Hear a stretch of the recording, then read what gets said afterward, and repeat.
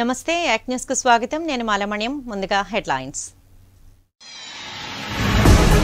మోడీ ప్రభుత్వానికి జగన్ తొత్తులా మారారు. మాజీ కేంద్ర మంత్రి అశోక్ గజపతిరాజు మండిపాటు. ప్రభుత్వ రంగ సంస్థలను కాపాడుకోవాలి. ఉద్యమ కార్యాచరణ ప్రకటించిన ప్రజా సంఘాలు. ఉక్కు నిర్వాసితులకు న్యాయం చేయాలి. ఎమ్మెల్సీ మాధవ్కి కేఎన్ఆర్ వినతి. స్టీల్ ప్లాంట్ ప్రైవేటీకరణతో రోడ్డున పడనున్న లక్షలాది కార్మికులు. సిఐటియు నేతల ఆవేదన. పదమూడవ రోజుకు చేరుకున్న ఐఎంఏ దీక్ష డాక్టర్ ఎస్ఏ రెహమాన్ సంఘీభావం. ఇక వార్తల వివరాలు చూద్దాం. స్టీల్ ప్లాంట్ ప్రైవేటీకరణకు వ్యతిరేకంగా టీడీపీ మాజీ ఎమ్మెల్యే పల్లా శ్రీనివాస్ చేస్తున్న ఆమరణ నిరాహార దీక్ష నాలుగవ రోజుకు చేరింది. దీక్షలో భాగంగా కుటుంబ సభ్యులు భార్య పిల్లలు తండ్రి పల్లా సింహాచలం దీక్షలో పాల్గొన్నారు. పల్లా శ్రీనివాస్కు మద్దతుగా కేంద్ర మాజీ మంత్రి అశోక్ గజపతిరాజు దీక్షకు సంఘీభావం తెలిపారు. స్టీల్ ప్లాంట్ ప్రైవేటీకరణకు వ్యతిరేకంగా టీడీపీ మాజీ ఎమ్మెల్యే పల్లా శ్రీనివాస్ చేస్తున్న ఆమరణ నిరాహార దీక్ష శనివారానికి నాలుగో రోజుకు చేరుకుంది. ఆయన కుటుంబ సభ్యులు కూడా దీక్షలో పాల్గొన్నారు. కేంద్ర మాజీ మంత్రి అశోక్ గజపతిరాజు పల్లా శ్రీనివాసరావు దీక్షకు సంఘీభావం తెలిపారు. ఈ సందర్భంగా ఆయన మాట్లాడుతూ పల్లా శ్రీనివాస్ తీసుకున్న నిర్ణయం సాహసోపేతమైనదని అన్నారు. అన్ని వర్గాలు ఉద్యమానికి మద్దతు ఇస్తూ ఉండడం సంతోషమన్నారు. అలాగే రాష్ట్ర సిఐటియు నాయకులు సుబ్బారావు హాజరై మాట్లాడుతూ పల్లా శ్రీనివాసరావు దీక్ష స్ఫూర్తిదాయకమన్నారు. గాజువాకులో ప్రారంభమైన ఉద్యమం రాష్ట్రాలు దాటిందన్నారు. కేంద్ర ప్రభుత్వం కళ్ళు తెరిచి నిర్ణయాన్ని ఉపసంహరించుకోవాలని డిమాండ్ చేశారు. ఈ పోరాటంలో మా వంతు మేము ఏం చెయ్యాలి చేస్తా వస్తామని మన తెలుగుదేశం పార్టీ ఎప్పుడు ప్రజల కోసమే పని చేస్తా వచ్చింది. మీ విజయసాయి రెడ్డికి ప్రత్యేకత ఉంది. ఇటీవలే ఆయన రాజ్యసభలో ఏదో అన్నారు. మళ్ళీ నా ఉద్దేశం కాదని కూడా అన్నారని విషయం నేను చెప్పక్కర్లేదు. ఉద్దేశాలు చెప్పిన దానికి చేసిన దానికి పొంతం లేకుండా ఉన్న రోజులు ఇవి అందుకోసం మనం ఏం చేయాలి చేసుకుంటా వెళ్ళాలి. మనం కూడా దేశంలో భాగమే. మనకు కూడా రాష్ట్రంలో భాగమే. మన ప్రాంతాలు బాగుపడాలని త్యాగాలకి అర్థం ఇచ్చేటట్టు చెయ్యాలని మేము ఎప్పుడు పల్లా శ్రీనివాసరావు గారి స్టేడియంలన్నీ కూడా పెద్ద ఎత్తున పోరాటం చేస్తా ఉన్నాయి. రాష్ట్ర వ్యాప్తంగా ఎక్కడికక్కడ నిరసనలు బయలుదేరి మరి గతంలో కూడా అమృతరావు గారు మన స్టీల్ ప్లాంట్ ఏర్పాటు ఉండాలని చెప్పి ఆయన అమరణ చేశాడు. మనం గుర్తు చేసుకోవాలి అట్లాంటి దీక్ష చేసిన నాయకుడిని. మహానుభావుడు. మరి బహుశా పల్లా శ్రీనివాసరావు గారు కూడా ఆ జాబితాలోని ఇవాళ స్టీల్ ప్లాంట్ ప్రైవేట్ అవుతుందని తట్టుకోలేక ప్రాణాలను కూడా లెక్క చేయకుండా ఈ రోజు చేసి కూర్చున్నారు. ఖచ్చితంగా వారికి మొత్తం రాష్ట్ర ప్రజానీకంతా ఆయన నిరాహారం తీసుకుని అండగా ఉంటుంది. మరి ఆ అండగా ఉన్నదాన్ని ఈ ప్లాంట్ ప్రయోజనం కాకుండా కాపాడేదానికి వారు ఖచ్చితంగా చేసే కృషికి ధన్యవాదాలు. ఖచ్చితంగా భవిష్యత్తులో కూడా ఈ పోరాటం కొనసాగించడానికి కానీ పూర్తిగా ముందుకు తీసుకెళ్తాం. ఇదేదో కేవలం ఒక పార్టీది కాదు. జెండాలు ఏ జెండాలు పక్కన పెట్టాలి. అందరూ కలిసి ఏకమైతే తప్ప ఇవాళ ప్లాంట్ మనం రక్షించుకోలేము అందరూ సమైక్యంగా ఉండి ఒకే మాట ఉండి ఈ ప్లాంట్ రక్షించుకుందాం. విశాఖ స్టీల్ ప్లాంట్ ప్రైవేటీకరణను మోడీ ప్రభుత్వం వెంటనే నిలిపివేయాలని ప్లాంట్కు సొంత నిధులు కేటాయించాలని విశాఖపట్నం అఖిలపక్ష కార్మిక సంఘాల ప్రజా సంఘాల వైజాగ్ స్టీల్ ప్లాంట్ పరిరక్షణ కమిటీ డిమాండ్ చేస్తోంది. ఈ మేరకు సిఐటియు జిల్లా కార్యాలయంలో ఏర్పాటు చేసిన అఖిలపక్ష సమావేశంలో భవిష్యత్ కార్యాచరణ ప్రకటించింది. ఈ నెల పదహారున జీవీఎంసీ గాంధీ విగ్రహం వద్ద మహాధర్నా ఈ నెల పద్దెనిమిదిన గాజువాక లంక మైదానంలో బహిరంగ సభ అలాగే ఈ నెల ఇరవై రెండున విద్యార్థులతో మార్చ్ నిర్వహించాలని సమావేశంలో నిర్ణయించుకున్నట్లు కమిటీ ప్రధాన కార్యదర్శి జగ్గునాయుడు మీడియాకు తెలిపారు. స్టీల్ ప్లాంట్ పరిరక్షణను కోరుకునే వారందరూ ఈ ఉద్యమంలో పాల్గొనాలని ప్రభుత్వ రంగ సంస్థలను కాపాడుకోవాలని పిలుపునిచ్చారు. ఈరోజు విశాఖపట్నం ఈ పరిరక్షణ కమిటీ సమావేశం జరిగింది. ఇందులో మేము తీసుకున్నటువంటి ప్రధాన నిర్ణయాలు ఏంటంటే రేపు పదహారవ తేదీన మా పరిరక్షణ కమిటీ ఆధ్వర్యంలో పెద్ద ఎత్తున సమీకరణ చేసి జిఎంసీ గాంధీ విగ్రహం ద్వారా మహాధరణ కార్యక్రమం చేపట్టాలని చెప్పని నిర్ణయం తీసుకోవడం జరిగింది. ఈ కార్యక్రమంలో పెద్ద ఎత్తున భాగస్వాములు కావాలని చెప్పని విశాఖ ప్రజానీకానికి మేము విజ్ఞప్తి చేస్తూ ఉన్నాం. అదేవిధంగా ఈ నెల పద్దెనిమిదిన విశాఖపట్నం ఉక్కు కర్మాగారాలకు సంబంధించినటువంటి స్టీల్ పరిరక్షణ కమిటీ వారి ఆధ్వర్యంలో పద్దెనిమిది తేదీన మధ్యాహ్నం రెండు గంటలకి గాజువాకలో లంకా మైదానంలో బహిరంగ పెట్టాలని చెప్పని ఉక్కు సంఘాలు నిర్ణయం తీసుకున్నాయి. ఆ నిర్ణయాల్ని జిల్లా అఖిలపక్ష కార్మిక సంఘాల ప్రజా సంఘాల తల కమిటీ సంపూర్ణంగా బలపరుస్తూ ఉంది. మేము కూడా అందులో భాగస్వాములు అవుతాం. ఈ సందర్భంగా మా కమిటీ ఆధ్వర్యంలో మూత గురైనటువంటి ప్రభుత్వ రంగ సంస్థ హిందుస్థాన్ జింక్ గేట్ నుండి లంకా మైదానం వరకు ప్రజా సంఘాల ఆధ్వర్యంలో అఖిలపక్ష కార్మిక సంఘాల ఆధ్వర్యంలో ర్యాలీ నిర్వహిస్తాం.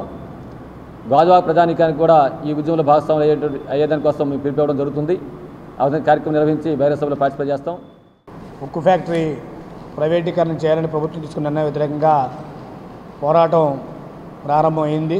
అన్ని ప్రజా సంఘాలు కార్మిక సంఘాలు ఇతర రాజకీయ పార్టీలు కూడా సంఘీభావం పేరుతో వారు కూడా ఆందోళన బాట పట్టే పరిస్థితి ఉంది ఈ పరిస్థితుల్లో విశాఖపట్నం కేంద్రంగా ఉన్నటువంటి కార్మిక సంఘాలు ప్రజా సంఘాల పరిరక్షణ కమిటీ ఏదైతే ఏర్పడిందో మా కార్యక్రమాలన్నీ కూడా తెలియజేయడం జరిగింది. ఈ కార్యక్రమం అన్నింటిలో కూడా ప్రజలు కార్మికులు భాగస్వాములు కావాలి.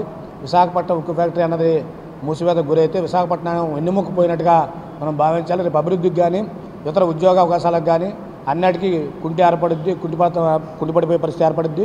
ఇప్పటికైనా రాష్ట్ర ప్రభుత్వం కూడా ఇంకా సపోర్ట్ చేస్తాము. అదే బుజ్జగించి లెటర్లు రాస్తామనే కాకుండా సీరియస్గా ఈ రాష్ట్ర శాసనసభని సమావేశపరిచి ముఖ్యమంత్రి గారు వెంటనే ఏదో ఒక నిర్ణయం గట్టిగా తీసి ప్రభుత్వ కేంద్ర ప్రభుత్వ నిర్ణయానికి వ్యతిరేకంగా ప్రజలు ప్రజా సంఘాలు కార్మిక సంఘాలతో పాటు కలిసి రావాలని చెప్పి వారికి కూడా విజ్ఞప్తి చేస్తున్నాం.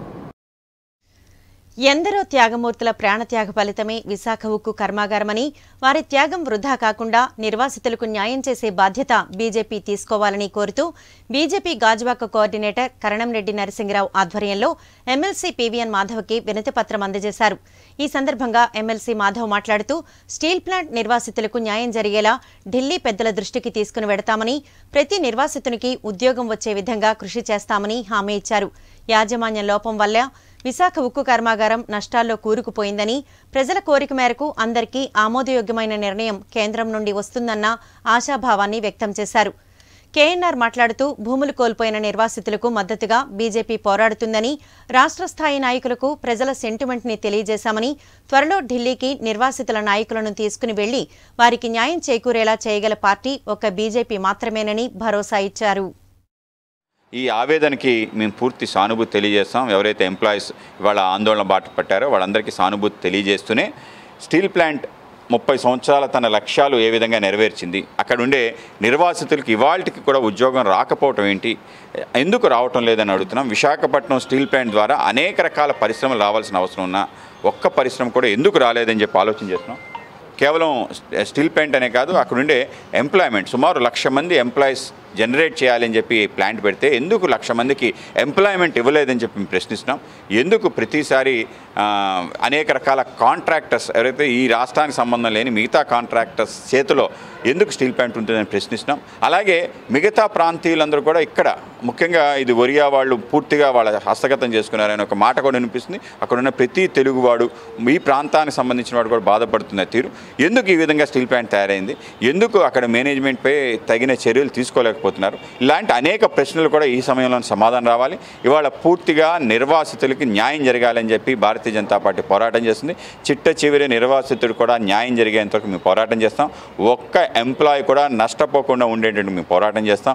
మా ప్రాంత వాసులందరూ కూడా మరి భూములు కోల్పోయారు ఉద్యోగాలు రాలేదు. వాళ్ళకి ఉద్యోగాలు కల్పించే విధంగా మరి ప్రయత్నం చేయాలని ఢిల్లీ పెద్దలకి దృష్టికి తీసుకువెళ్ళి మరి ఆ యొక్క ప్రాంతాన్ని అభివృద్ధి చేయాలని కూడా గౌరవనీయులు పెద్దలు శ్రీ ఎమ్మెల్సీ గారికి గాజువాక ప్రాంతం నుంచి కార్యకర్తలందరం వచ్చి వింతపత్రం అందజేశాము.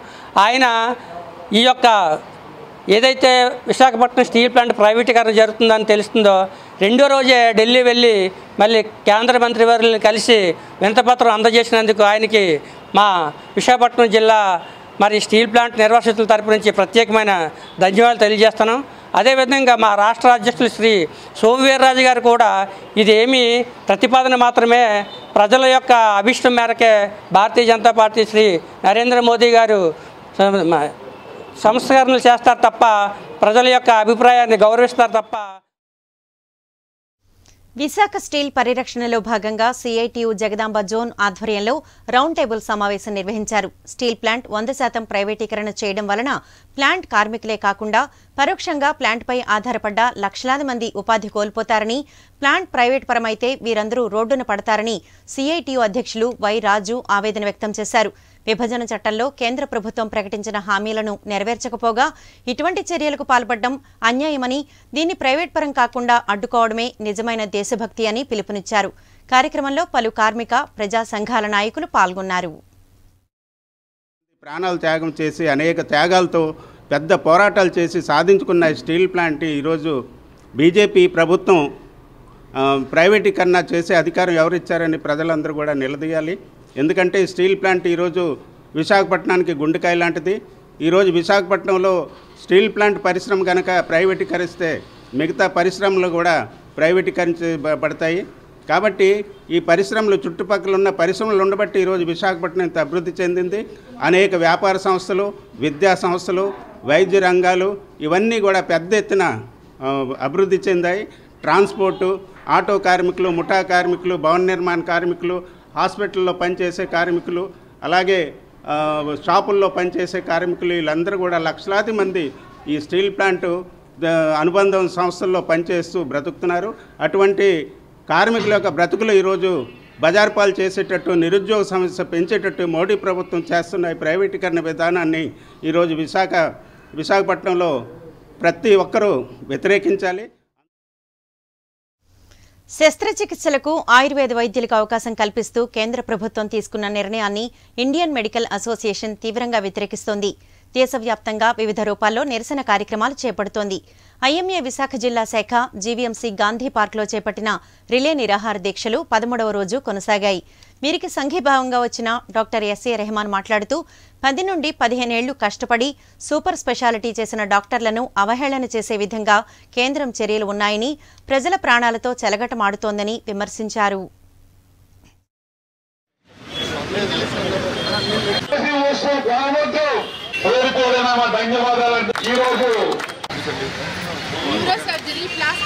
ఈ దేశం ఎటుపోతుందో ప్రజలకు అర్థం కావట్లా.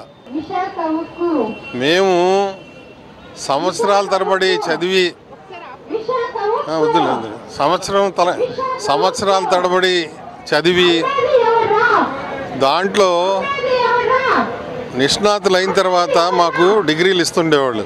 అటువంటి పరిస్థితుల్లో ఈరోజు మరి కేంద్ర ప్రభుత్వం చేస్తున్న ఈ మిక్సోపతి అంటే అందరినీ మిక్స్ చేసేయటం. ఇంకా మేము ఎంబీబీఎస్ ఎందుకు చదవాలండి మేము? ఇన్నేళ్ళు చదివి సూపర్ స్పెషలిస్టులు అయ్యి మరి వాళ్ళు అంటే డాక్టర్లని ఒక పక్కనేమో మీరు అండర్ ఎస్టిమేట్ చేస్తూ ఉన్నారు. ప్రజల ప్రాణాలతో చలగాటం ఆడుతూ ఉన్నారు. అంటే ఇదే ఈ కేంద్ర ప్రభుత్వానికి ప్రజల ప్రాణాలు అక్కర్లేదేమో అని నాకు అనిపిస్తూ ఉంది. ఇటువంటి ఇటువంటి దురాగతాలు భారతదేశ చరిత్రలోనే కాకుండా ఈ ప్రపంచంలో ఎక్కడ జరగల. స్టీల్ ప్లాంట్ ప్రైవేటీకరణకు వ్యతిరేకంగా ఆరిలోవ సిపిఎం పార్టీ కార్యాలయం నుండి పాదయాత్ర నిర్వహించారు. మోడీ అధికారంలోకి వచ్చాక ప్రభుత్వ రంగ సంస్థలను ప్రైవేటీకరణ చేయడమే పనిగా పెట్టుకున్నారని ఇటువంటి చర్యలను తిప్పికొడుతూ సొంత గనులు కేటాయించేలా అసెంబ్లీలో తీర్మానం చేయాలని ముప్పై రెండు మంది ప్రాణత్యాగాలతో ఏర్పడిన స్టీల్ ప్లాంట్ను అమ్మితే చూస్తూ ఊరుకునేది లేదని సిపిఎం నాయకురాలు బి సూర్యమణి హెచ్చరించారు. జీవీఎంసీ ఆస్తి పన్నును మార్కెట్ విలువ ఆధారంగా పెంచవద్దని కోరుతూ మున్సిపల్ యూజర్ ఛార్జీలు రద్దు చేయాలని డిమాండ్ చేశారు. కార్యక్రమంలో సిపిఎం పార్టీ నాయకులు S Rangamma P Mani V Narendra Kumar తదితరులు పాల్గొన్నారు. చేయొద్దని ప్రత్యేకంగా అసెంబ్లీ పెట్టి అసెంబ్లీలో తీర్మానం చేయాలని అలాగే మున్ మున్సిపల్ సంస్కరణల చట్టం రెండు వేల ఇరవైని రద్దు చేయాలని ఆస్తి విలువ ఆధారంగా ఇంటి పన్ను వేయడాన్ని ఆపాలని ఇప్పుడు విపరీతంగా పెంచిన ఇంటి పన్నులు నీటి కొలాయిలు వెంటనే ఆ పన్నులు రద్దు చేయాలని చెప్పి మేము ఈరోజు సిపిఎం పార్టీగా ఈరోజు పాదయాత్ర చేస్తున్నాం. ఇప్పటికైనా ప్రజల యొక్క మనోభావాలకు అనుగుణంగా కేంద్ర ప్రభుత్వం వ్యవహరించాలి రాష్ట్ర ప్రభుత్వం వ్యవహరించాలి లేని పక్షంలో పెద్ద ఎత్తున పోరాడతామని హెచ్చరిస్తున్నాం. విశాఖ స్టీల్ ప్లాంటు ఉద్యమంలో పుట్టింది. ఉద్యమం ద్వారానే ఎదిగింది. ఉద్యమం ద్వారానే కాపాడబడింది. ఇప్పుడు కూడా ఉద్యమం ద్వారానే పోరాటం ద్వారానే రక్షించబడుతుంది. ఎందుకంటే స్టీల్ ప్లాంటు తెలుగు వాళ్ళ హక్కు. ముప్పై రెండు మంది ప్రాణాలు బలి బలి చేసిన తర్వాత స్టీల్ ప్లాంట్ వచ్చింది. కాంగ్రెస్ గవర్నమెంట్ ఉన్నంతకాలం స్టీల్ ప్లాంట్ రాలేదు.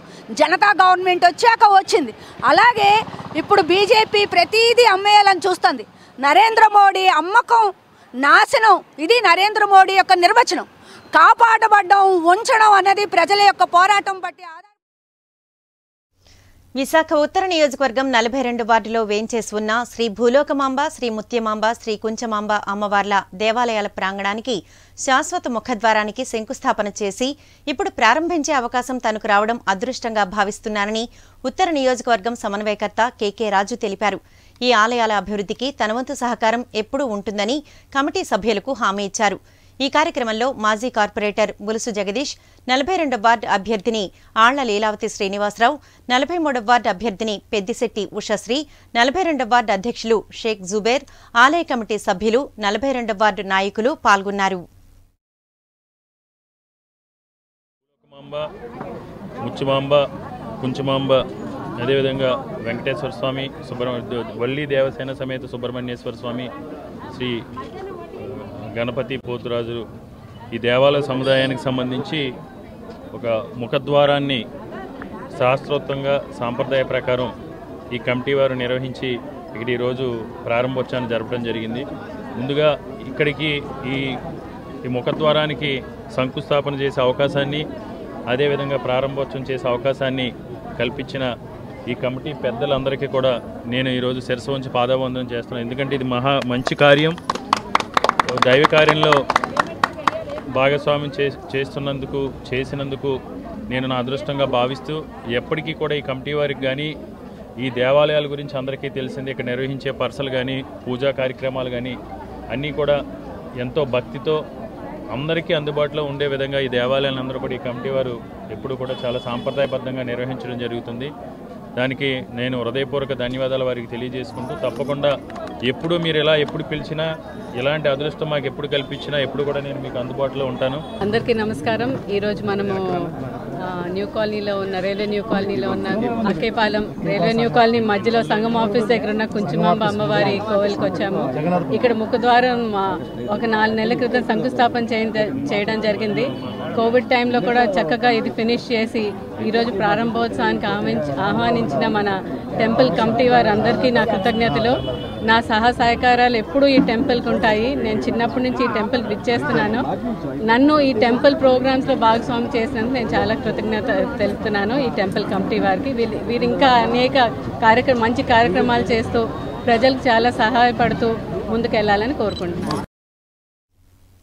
స్టీల్ ప్లాంట్ ప్రైవేటీకరణకు వ్యతిరేకంగా మాజీ ఎమ్మెల్యే పలా శ్రీనివాసరావు గత నాలుగు రోజులుగా ఆమరణ నిరాహార దీక్ష చేస్తున్నారని ఆయన దీక్షకు సంఘీభావంగా గణబాబు సూచన మేరకు తొంభై వార్డు టీడీపీ అభ్యర్థి బొమ్మిడి రమణ ఆధ్వర్యంలో వార్డు పరిధి బుచ్చిరాజుపాలెంలో రిలే నిరాహార దీక్ష చేపట్టారు.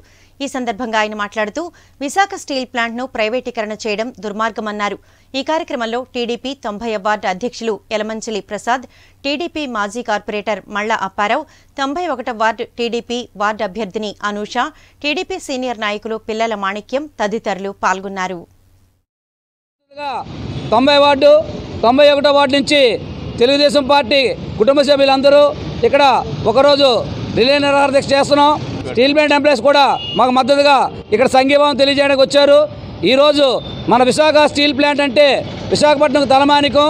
విశాఖపట్నం స్టీల్ ప్లాంట్ చెప్తే ఎవరైనా విశాఖపట్నం చెప్పాలంటే విశాఖ స్టీల్ ప్లాంట్ కానీ స్టీల్ సిటీగా మన సిటీని అభివర్ణించడం జరిగింది. ఈ విశాఖ స్టీల్ ప్లాంట్ని మరి నరేంద్ర మోడీ ప్రైవేటీకరణ చేయదలిచి ఆయన జగన్మోహన్ రెడ్డి మద్దతుగా పోస్కో కంపెనీతో మరి కొమ్మక్కై విశాఖ స్టీల్ ప్లాంట్ని దక్షిణ కొరియా అయిన పోస్కో కంపెనీకి వాళ్ళు అమ్మడం జరిగింది. దీన్ని మేము నిరసిస్తున్నాం. ఎన్నో కొన్ని వేల జీవితాలతో ప్రభావితమైనటువంటి ఈ కేంద్ర ఈ మన ఈ ఫ్యాక్టరీని అడ్డదారిని తీసుకొచ్చి అడ్డదారిని తీసుకొచ్చి అమ్మకాలు చేసి ఇక్కడ విశాఖపట్నం జిల్లాలో ఉన్నటువంటి స్టీల్ ప్లాంట్ తాలూకా మనో దెబ్బతీస్తున్నారు. అంచేది కరెక్ట్ అయిన నిర్ణయం కాదు. మరి ఆనాడు మన జిల్లా వాసి అయినటువంటి పవిత్రమూర్తి అయినటువంటి దిన్నెట్టి విశ్వనాథం గారు కంకణం కొట్టుకున్న ఆ రోజు ముప్పై రెండు మంది బలిదానంతో ఏర్పడినటువంటి కంపెనీ. ఎవరు ఏ ప్రభుత్వ ఇది కూడా పెట్టింది కాదు ఇక్కడ.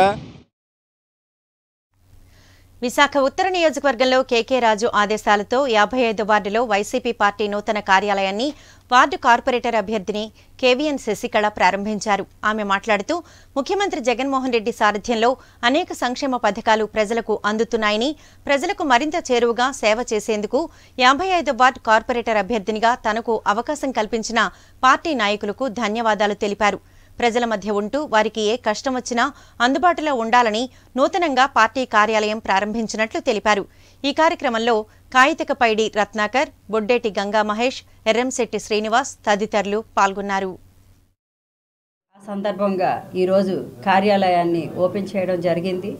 ఈ కార్యాలయం ఓపెనింగ్కి విచ్చేసిన మా ముఖ్యులు ఈ వార్డు ప్రెసిడెంట్ గారు రత్నాకర్ గారు మరియు ఉత్తర ఉత్తర నియోజకవర్గం BC cell president Ganga Mahesh గారు SC cell president Sondi Sondi Ramesh గారు సురేష్ గారు శివారెడ్డి గారు ధర్మేంద్ర గారు ఎరంశెట్టి శ్రీను గారు రాగత్ దాస్ గారు దాస్ గారు ఈశ్వర్ రెడ్డి గారు శ్రీకాంత్ గారు రెడ్డి గారు సూరిబాబు గారు లక్ష్మి నాగలక్ష్మి ఇక్కడికి విచ్చేసిన వాలంటీరు రీనా మరియు రమణమ్మ చిన్న మీడియా సోదరులందరికీ కూడా మరి ఒక్కసారి నా హృదయపూర్వక ధన్యవాదాలు తెలియజేస్తూ ఏదైతే జగన్మోహన్ రెడ్డి గారు ఈరోజు వైఎస్ఆర్సిపి అభ్యర్థిగా యాభై ఐదో వార్డులో మహిళా రిజర్వేషన్ ద్వారా ఆయన నాకు ఈ సీట్ ఇవ్వడం జరిగింది.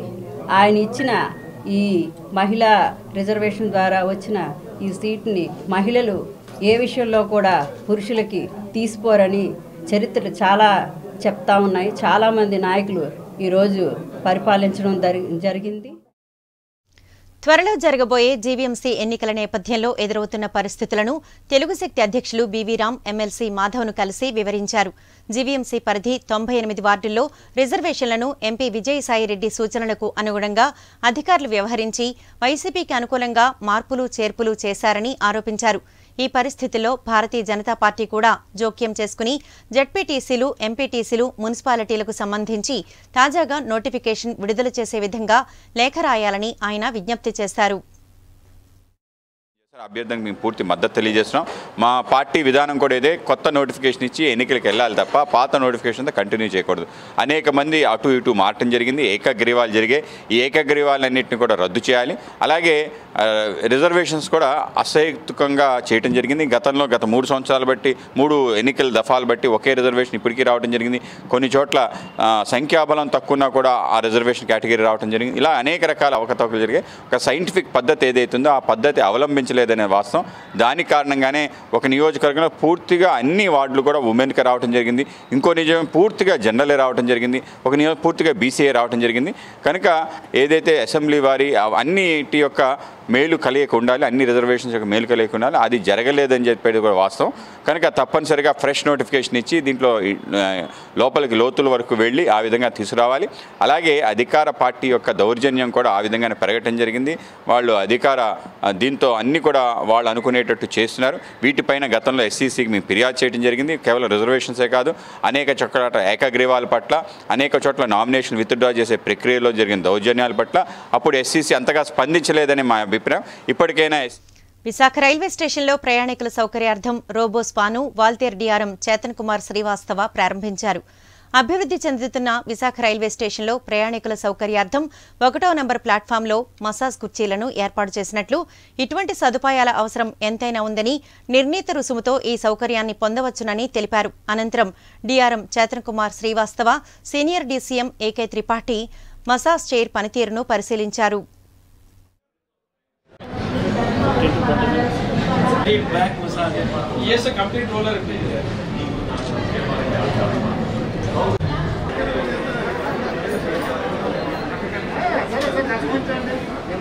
Today we have opened uh, robotic spa here at platform number one. This is another facility for all the passengers. Okay. Done under uh, new innovative non-fare revenue schemes. Such many things have been done in the past also. This is the latest one. Earlier almost pre-COVID period, we did uh, game zone. Uh, recently, we have done uh, mobile health desk also, and this is also a beautiful thing, uh, relaxing chair and fish spa. seven or eight days. Both the things at a nominal charge. Railway is also earning nominal revenue only, but the idea is not to earn money for the railways and all. It's a facility and given to the extended to the passengers. So those who are um, available at platform having some stiff body and all, they can uh, utilize the relaxed chair. Five minutes they will charge 50 rupees. And fish spa is also, I was told, is good for diabetic patients. Uh, many five-star hotels and all, uh, people people go there for this thing. But it will be readily available here uh, at your platform number one for all the passengers. Walter Division, under the able guidance of uh, DRM sir, is committed to bring all the world-class facility to this station. And you have seen many in the past, and in the days to come also, you will see so many facilities at this station. We want to make this station as much passenger and customer friendly as is possible, and more facility for our passengers, our esteemed passengers. Thank you. GVMC ఇరవై ఎనిమిది ward TDP అభ్యర్థిగా బరిలో ఉన్న నక్కా కనకరాజు సతీమణి Nakka Annapurna ward పరిధి రామ్నగర్ పరిసర ప్రాంతాల్లో విస్తృత పర్యటన చేపట్టారు ఈ సందర్భంగా అన్నపూర్ణ కనకరాజులు మాట్లాడుతూ వైసీపీ అధికారులకు వచ్చిన దగ్గర నుండి ప్రజలకు ఇబ్బందులు ఎదురయ్యాయని పేదవారి సంక్షేమం టీడీపీతోనే సాధ్యమని రానున్న మున్సిపల్ ఎన్నికల్లో టీడీపీకి అధికారం ఇవ్వడం ద్వారా మరలా రామన్న రాజ్యం చంద్రబాబు ద్వారా పొందగలమన్నారు.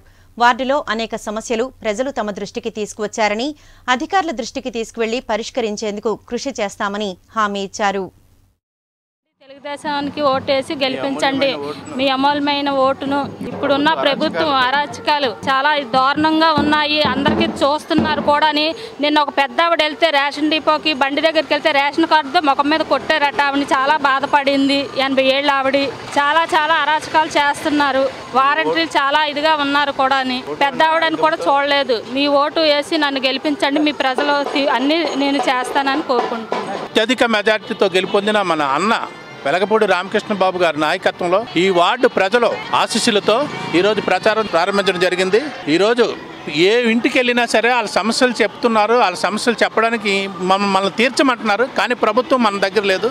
ప్రభుత్వం వైఎస్ఆర్ ప్రభుత్వంలో వాళ్ళకి జరుగుతున్న అన్యాయాల గురించి వాళ్ళకి జరుగుతున్న ఇబ్బందుల గురించి తెలియపరుస్తున్నారు. ఈ రోజు నుంచి ఇంకొక రెండు సంవత్సరాల్లో మళ్ళీ ఎలక్షన్ రాబోతున్నది. ఆ ఎలక్షన్లో మళ్ళీ చంద్రబాబు గారిని గెలిపించుకొని చంద్రబాబు నాయకత్వంలో మనం రాష్ట్ర అభివృద్ధి చెందాలంటే చంద్రబాబు గారు మళ్ళీ ముఖ్యమంత్రి జరగాలి. చంద్రబాబు గారు ముఖ్యమంత్రి జరగాలంటే ఈ వార్డులో తెలుగుదేశం కార్పొరేటర్ అభ్యర్థిని గెలవాలి. తెలుగుదేశం కార్పొరేటర్ అభ్యర్థిని గెలవాలంటే నక్క అన్నపూర్ణ గారికి ఓట్లు వేసి అత్యధిక మెజార్టీతో గెలిపిస్తారని ఈ ఇరవై ఎనిమిదో వాటి ప్రజలందరినీ కోరుకుంటూ సెలవు తీసుకుంటాం స్టీల్ ప్లాంట్ ప్రైవేటీకరణ నిర్ణయాన్ని వెనక్కి తీసుకోవాలని నూతన వ్యవసాయ చట్టాలు రద్దు చేయాలని కోరుతూ వామపక్షాలు పెందుర్తి సిఐటియు కార్యాలయంలో రౌండ్ టేబుల్ సమావేశం నిర్వహించాయి. కేంద్రంలోని మోడీ సర్కార్ ప్రభుత్వ రంగ సంస్థలను అడ్డగోలుగా ప్రైవేటీకరిస్తోందని సిఐటియు నేత వెంకటరెడ్డి విరుచుకుపడ్డారు. ఈ సందర్భంగా వామపక్ష నేతలు వెంకటరెడ్డి ఇందిరా మాట్లాడుతూ విదేశీ శక్తులకు జాతి సంపదను దోచిపెట్టేందుకు కుట్ర పన్నుతున్నారని ఆరోపించారు. ఎన్నో త్యాగాలతో ఏర్పాటైన ఉక్కు కర్మాగారాన్ని ప్రజా పోరాటాల ద్వారా పరిరక్షించుకుంటామన్నారు.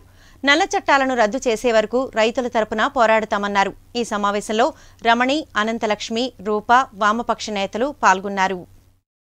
కట్టబెట్టడానికి ప్రయత్నం చేస్తామన్నాడు. ఈ రోజు పరిస్థితి ఎట్లా అంటే గుజరాతీ కార్పొరేట్ కుక్కల్లారా ఈ దేశాన్ని విడిచిపోండి అని చెప్పేసినటువంటి నినాదం ఇచ్చే పరిస్థితి అన్నది ఈ రోజున వస్తూ ఉంది. ఎందువల్లంటే మొత్తం కార్పొరేటర్స్ గుజరాతీ కార్పొరేట్ వాళ్ళే ఈ రోజున ఏంటంటే బ్యాంకులు లూటీ చేస్తూ ఉన్నారు. ఈ యొక్క బ్యాంకుల్లో లక్షలాది కోట్ల రూపాయలన్నీ కూడా అప్పులు చేసేసి వాటన్నీ ఎగ్గొట్టేసి విదేశాలకు పారిపోతున్నటువంటి నీరవ్ మోడీ కానీ లేకపోతే చోక్సీ కానీ వీళ్ళందరూ కూడా ఈ ఈ దేశం నుంచి విడిపోవడానికి పారిపోవడానికి కారణం ఏంటంటే వాళ్ళు తప్పించడానికి మోడీ ప్రభుత్వం అన్నది చేసింది. అంటే దొంగల ప్రభుత్వంగా ఈరోజు ఈ మోడీ ప్రభుత్వం ఉంది. ఈరోజు స్టీల్ ప్లాంట్ విశాఖ చరిత్ర చాలా చరిత్ర ఉందండి. ఎంతో మంది రక్త తర్పణం ప్రాణ తర్పణాలు చేసి హక్కులు తెచ్చుకొని ఈ ముప్పై రెండు మంది బలిదానం కూడా అయ్యారండి ఈ ఉక్కు కర్మాగారం విశాఖ స్టీల్ ప్లాంట్ గురించి. ప్రతిదీ ప్రైవేటీకరణ చేసడానికి ఈ బీజేపీకి ఎవరు ఇచ్చారని మేము ఈరోజు మాట్లాడుతున్నామండి. ఈరోజు ఢిల్లీలో డెబ్బై ఐదు రోజులు అవుతుంది. వణుకుతున్న చనిలో రైతులు అక్కడ పోరాటం చేస్తుంటే మూడు నల్ల చట్టాలను తెచ్చి రైతులకు వ్యతిరేకమైన మూడు నల్ల చట్టాలు తెచ్చి రైతులకి తినే తిండి గింజలు లేకుండా నువ్వు అక్కడ ఎందుకు ఇలాంటి ప్రైవేటీకరణ చేస్తున్నావని అక్కడ ఒక పక్క భీమిల నియోజకవర్గం ఆరవ వార్డ్ రిక్షా కాలనీలో వైఎస్సార్ కాంగ్రెస్ పార్టీ కార్పొరేటర్ అభ్యర్థిని ప్రియాంక ఇంటింటి ప్రచారంలో పాల్గొన్నారు. త్రిశక్తి అమ్మవారి ఆలయంలో ప్రత్యేక పూజలు నిర్వహించిన అనంతరం రిక్షా కాలనీలో పర్యటిస్తూ ప్రభుత్వ పథకాలు సక్రమంగా అందుతున్నాయా లేదా అని అడిగి తెలుసుకున్నారు. విశాఖ నగరంలో ఆరవ వార్డుని ఒక మోడల్ వార్డుగా అభివృద్ధి చేస్తామని హామీ ఇచ్చారు. ఈ కార్యక్రమంలో వైఎస్సార్ కాంగ్రెస్ పార్టీ నాయకులు కార్యకర్తలు పాల్గొన్నారు.